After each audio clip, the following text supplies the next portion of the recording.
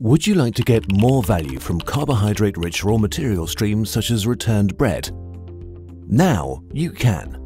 Our research shows that returned bread offers the agri-food industry new, high-value applications.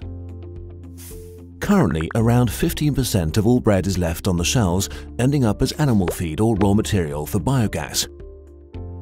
But did you know that returned bread can be upgraded as a resource for flavoursome food products a great way of reducing food waste. We've developed three products, porridge, gingerbread and treacle. Also, the food safety of these products was checked.